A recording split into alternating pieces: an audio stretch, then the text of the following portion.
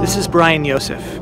If you're one of the few people really interested in spiritual awakening, in getting free from negativity and tapping into your own inner depths of blissful connection, healing, creativity, and much, much more, I invite you to join me on Monday evening, 7 p.m., at the Jewish History Museum in downtown Tucson for the launch of Torah of Awakening Southwest, the Jewish Path of Presence.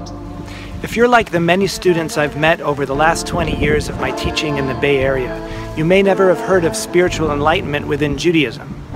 As one participant said to me after a workshop, she had been involved with yoga and Buddhism for years, but with Torah of Awakening, she finally got what she needed without having to leave home. Well, my family and I have recently moved from the Bay Area and made Tucson our new home, and I'm excited to share these teachings and practices with you. In this workshop, you'll learn a powerful transformative practice I call Integral Jewish Meditation, which includes sacred chanting as well as silent presence or mindfulness. So join me Monday evening, November 7th, 7 p.m. at the Jewish History Museum in downtown Tucson. It's free and everybody is welcome, donations graciously accepted.